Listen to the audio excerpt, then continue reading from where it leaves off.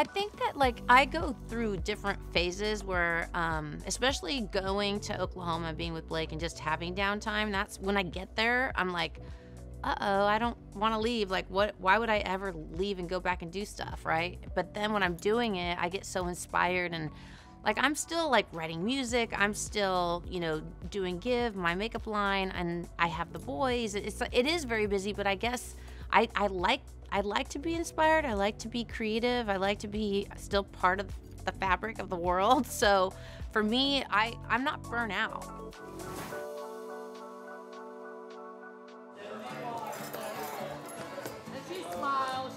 I graduated at 17 and I was just gosh, I wasn't even like baked at all yet. You know what I mean? Like I was like I was still like raw. Like I I had no idea what I was going to do. I didn't know anything about who I was. And at that point, I hadn't even written a song. So Just a Girl didn't come out until I was 26 years old. So I was in No Doubt for nine years, like trying to get, do, you know, just, we weren't even trying. Like we were just doing it because that's what we love to do. We didn't think anyone would actually, we would get on the radio, you know what I'm saying? Or that anyone would care. And then next thing you know, out of nowhere, I just started writing all these songs. And so that's the Tragic Kingdom. And it's just, it, it, none of it makes sense. It's all like sent from above because there's no way to make sense of it. It just is like it feels like I'm talking like I'm in a dream. I was saying backstage, I was or in the dressing room over here, I was like, this everything lately feels like a dream. Like nothing feels real anymore because it's like we're so far into the future. You have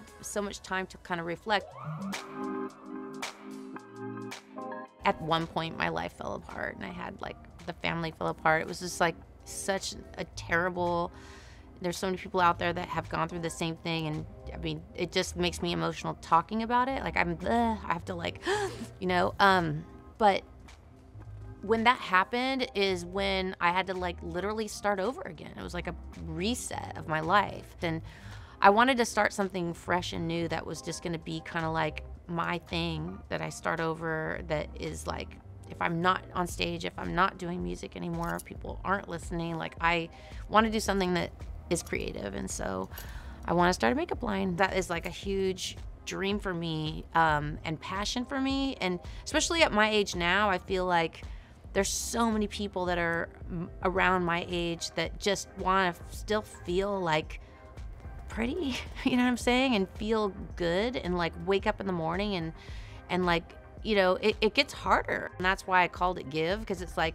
you give like you you give of yourself when you're putting your makeup on and it's it, it's a chance for every day to be creative. And so i really enjoy like that this chapter of, of doing that and being like creative within that space of makeup. Um, i think people don't really know like how i was a makeup artist when i was a kid. Like i was i worked at the counter how like even before that though like what a huge passion makeup was for me and still is every single day like i get lost in doing my makeup. Like i'm like shoot okay i have to put my alarm on my phone like you got 15 minutes like or else i'll just keep going going. Like oh maybe i'll do you know?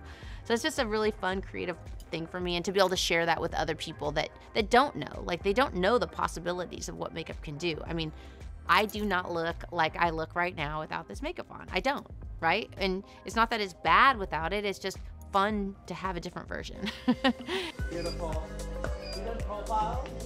I've been working on music. I I'm literally coming from the studio last night. I wrote two songs in 2 days and it just never it just never gets old because I was explaining to everybody this morning. I was like, I wish you could see it happen. Like it's it's so mystical it's so spiritual and it's so uh, like magical like you, you don't have a song and then next thing you know you have this this song that like embraces your life and it's just there and you don't really can't really say how it happened and, it, and everybody in the room is doing the same thing so it's just that is just something that you never get over. The music is the one thing that is still a fire for me like it gives me that like oh, I love I love these songs, and I'll listen to them over and over and over. And um, so I'm excited to actually put something out. I feel like I finally stepped into that place where I'm like, okay, I know what this record is now. Like I can hear the sound of it. Like it's coming together. I have some writing partners that are just they're so inspiring and talented, and they're able to really like pull it out of the story. And so as far as like what the what the story is, I mean, I'm never going to write anything that's not just completely reflective of what's going on in my life. I'm not a creative writer where I make up stories and like pretend, you know what I mean? So obviously I have the No Doubt chapter and then I have kind of my dance records, solo records, and then I did my Christmas album. That to me was one of my favorite albums that I've ever done. Being able to write Christmas music and just the way that record turned out. It's it was a dream for me to be able to write a Christmas song and then to be able to write a song with Blake, uh, a Christmas song. And I think it was both of our dreams because we both come together with loving Christmas music. I mean, it's something that we truly, truly love. But yeah, we've we've done a lot together and written a little bit together, but it's just not enough for me. Like I, I'm always like, come on, Blake, let's do more, let's do more. And he's just a magic, magic person. So you just want more of him all the time. And he's very generous, so he does give a lot, but it's like I just can't get enough.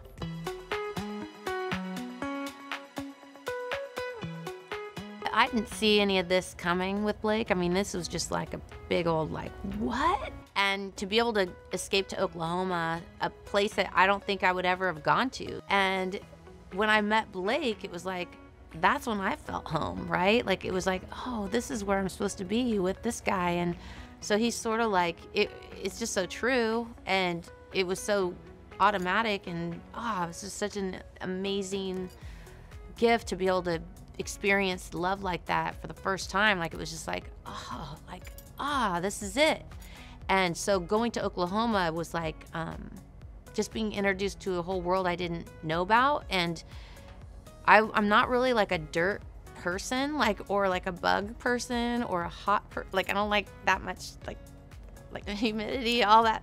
But it doesn't. You sort of get over it all because it's so beautiful there, and you kind of feel like you're going into this like vortex, and then you get there and you're like. This is just different here and it has this it's it's i guess it's just nature and god is all right there so you're just surrounded by uh, that as opposed to you know, I love people, but it's like really nice to to get away and think. And I now I get why he loves to be on the tractor, why he loves to to grow things and why he likes to work really hard there. We used to go there and I would be like, I don't want to do anything. Like I'm tired. Like why are you let's just lay here and eat pizza. Like and, and he'd be like, No, I'm gonna go do this. I'm gonna go do that. I'm gonna go cut wood. I'm gonna like sit down. Like but now we get there and we're both he's like we're working. Like we got to get those sunflowers planted. Like we got to make the zinnias happen. And and we are constantly working and it's just it's a different kind of work. I was riding with this guy that just has like an 11 month old baby and it's just so cute to watch. You look back and i said hey you know that like when your baby was nine months, think about that. Like, that's when I took Kingston on a world tour. like, we did 120 shows, and I would have to nurse him and then get on stage and then come off, and he would like twirl my ponytail. And I mean, basically, like, I did work through a lot of that, which if I could say I regretted something, I would say that I wish that I could have divided it because that time is so precious. But at the same time, it was like it was happening then, and I you know, I I was grateful for all of it and it just all came at one time. And so I think that like the thing is is that I was blessed to be able to have three boys and have three different completely experiences. So when I got home from that tour, I got pregnant that month with Zuma. And then I went back on tour when he was uh, nine months with No Doubt, and we did like 60 shows. And, and then, you know, that's so having adding the children into like everything at that point, I think I will be really honest, like to anyone, just to be super transparent, that's when things got really hard for me. Like to be able to do it all, I think emotionally, like you just don't want to miss anything, but also don't want to let go of like this momentum of like, how does this happen to anyone? What's happening to me? Like, I, have to, I have to keep going, right? And I want to, so I did, and it, it seems to have worked out okay but um, when i did have a goal that when i was my kids were teenagers that i really wanted to make sure that i was home there for them and here we are and it, it somehow it works out because you know they have their dad and they go over there and when they go i'm like let me do all this stuff, and then okay, dinner's ready when they get home. Like, it's that's just the truth. You know what I'm saying? So, um, it's it's not easy, but it's also like, I wouldn't want to be just sitting around for sure. I want to produce, like, I want to make stuff.